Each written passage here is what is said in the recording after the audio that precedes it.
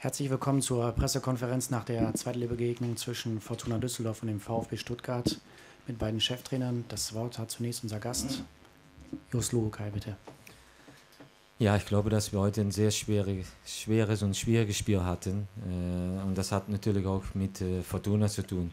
Friedem hat seine Mannschaft äh, wieder mal hervorragend eingestellt. Sie waren sehr gut organisiert, gut strukturiert und sie haben uns äh, das Leben richtig schwer gemacht. Äh, sie haben wenig Räume gegeben, sie haben sehr kompakt gespielt gegen den Ball und es war für uns schwer, um uns äh, in die erste Stunde äh, da durchzuspielen. Wir haben auch selber äh, uns schwer gemacht, dass wir zu viel und zu schnell ähm, Ballverluste hatten. Wir haben äh, zu sehr in die Breite gespielt und nicht so sehr in die Tiefe in die erste Stunde und Fortuna konnte es äh, gut verteidigen, hat äh, so gut wie gar nichts äh, zugelassen.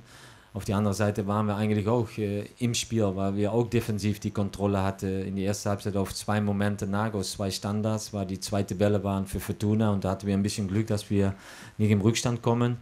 Ja, und äh, nach der äh, 1-0 Rückstand hat meine Mannschaft, denke ich, alles versucht bis in die 94. Minute. Sie hat äh, sich selber leider nicht belohnen können. Wir haben drei, vier, fünf äh, Gelegenheiten gehabt, um äh, den Ausgleich zu erzielen. Und Fortuna hat natürlich auch in die Umschaltbewegung zwei, drei Momente gehabt, wo sie vielleicht auch das zweite hätte machen können. Ähm, insgesamt glaube ich, dass meine Mannschaft sich äh, keinen Vorwurf machen muss. Äh, wenn sie aus die eine oder andere Möglichkeit ihr Tor erzielt hätte, hätten wir zumindest äh, einen Punkt mitgenommen. Aber es ist nicht so. Herzlichen Glückwunsch an Friedhelm und an Fortuna und wir müssen die nächste Aufgabe wieder annehmen und äh, es besser machen. Dankeschön. Ja, vielen Dank, Jos Lokai. Gibt es Fragen an den Gästetrainer? Dann gebe ich das Wort an unseren Coach, Friedhelm Funkel, bitte. Ja, der Jos hat das Spiel ja schon sehr, sehr gut analysiert und äh, viel äh, hinzuzufügen.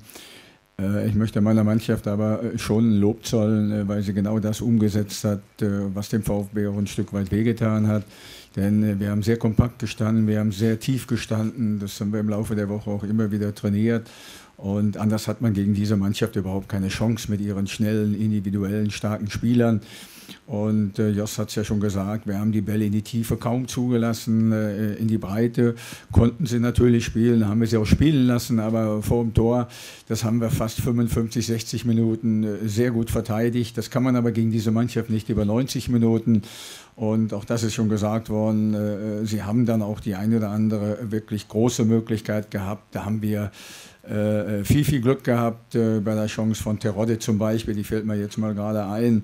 Äh, normalerweise macht er diesen Ball rein und äh, dann geht das Spiel möglicherweise 1-1 aus. Also wir haben auch ein Stück weit Glück gehabt, äh, auch mit den Elfmeterentscheidungen. Äh, für uns den Elfmeter, den kann man geben, den muss man nicht geben.